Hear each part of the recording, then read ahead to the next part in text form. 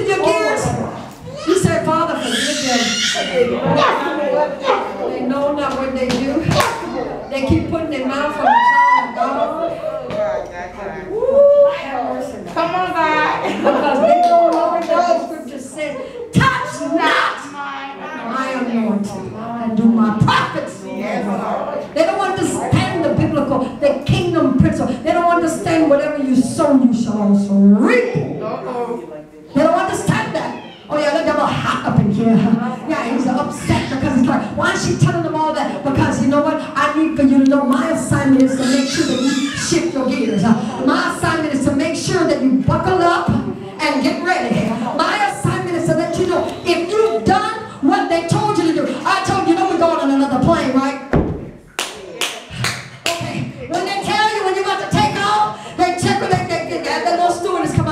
Ladies and gentlemen. Come on, Pastor. Ladies and gentlemen, we're about to take flight. I need everybody in their seats. I need everybody to buckle up. Make sure your da- dashboard is pushed in.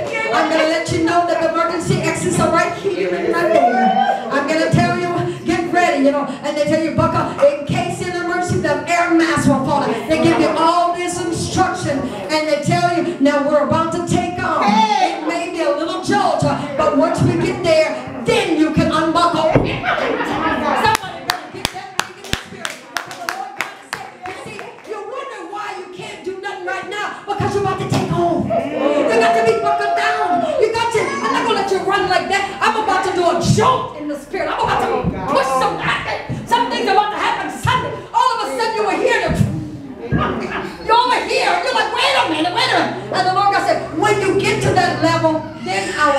you to unbuckle Come on now. and walk in. In the name of Jesus. Somebody better. Well, if, that was on sale, I'd buy to take myself.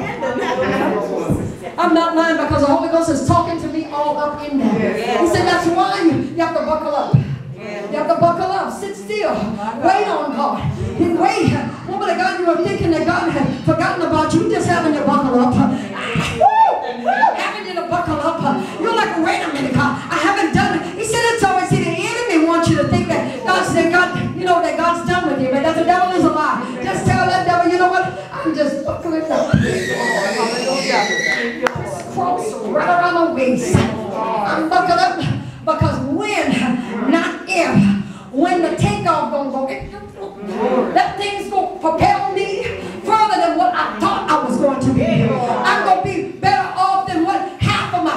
My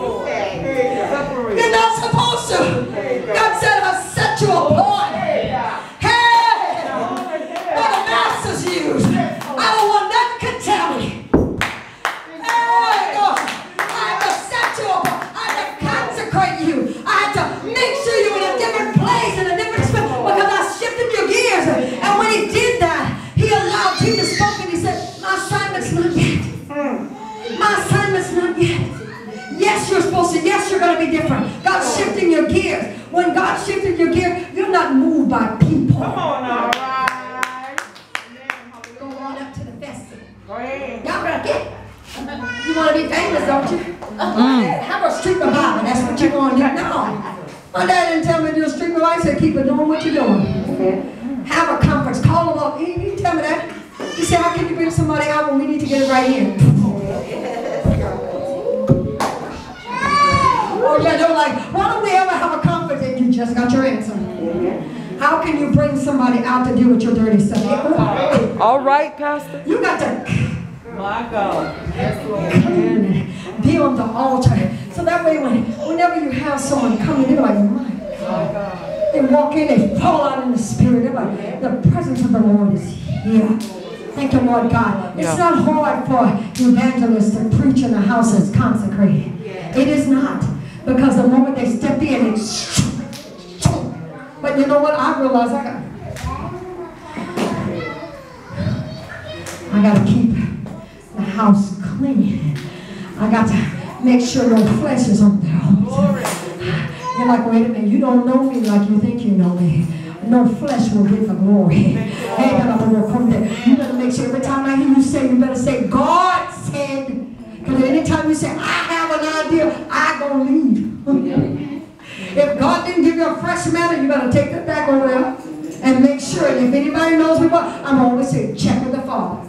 God, you, you know, I got a word. Did you check with the daddy before you shared? Did you, I got something. Uh, you know, well, they say, well, Pastor, you gave it. Did you check with the Father before you did it? Because you know what? It will make sure it's clean. Mm. Oh, yeah. I like Pastor Lord. Oh, I I know I'm I'm almost done. I'm here to tell you that the Lord God's telling you to shift your gear. Uh, do I have any mechanics in here? Any, anybody mechanic? Anybody know about cars? Anybody? Nobody know about cars? Well, I tell you what, I, I'm closing. Cars normally have four to five years. Am I right about it? Four to five years. If you have a standard, you know what I'm talking about. Right now, see, you're wondering why things are going the way they I'm telling you right now, you got five years to get to. Come on, people of God, I'm closing. You got five, tell your neighbor, I got five years. Five years. Tell your neighbor, see. Somebody say gears, somebody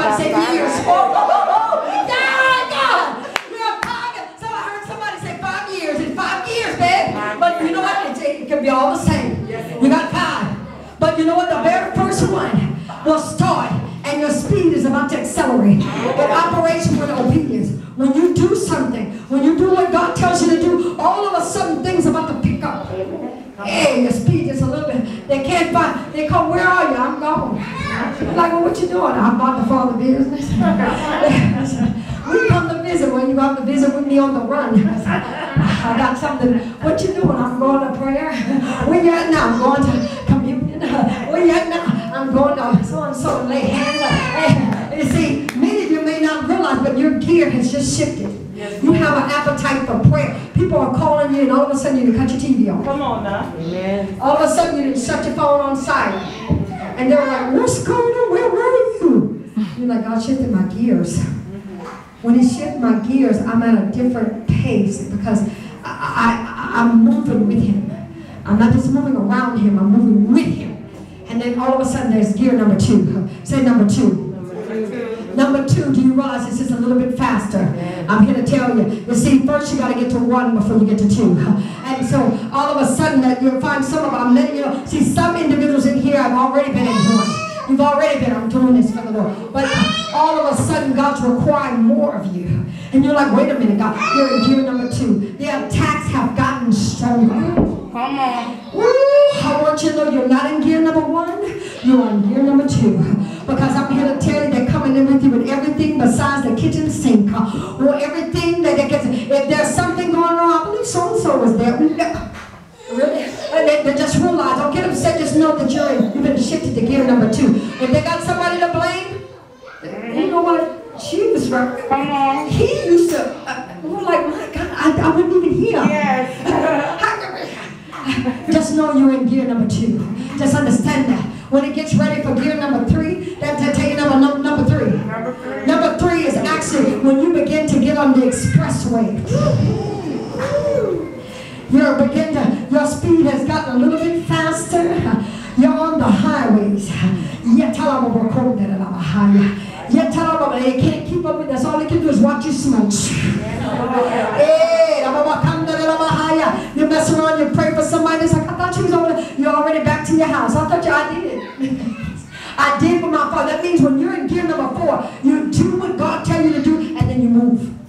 You do whatever God tell you to do. You don't sit there if he didn't take to have conversation and, and go through a session. He told you to go lay hands, told you to go pray for him. He told you to cast the devil out. Don't sit up there like, well, we'll have tea. No. Get your stuff and get out because you're in gear number four. Because you never know between that place and the next place. It might be a miracle that God said, you're about to cross and I want you to get up the car and pray for him. Come on, Holy Ghost. That's number four. And when you get to five,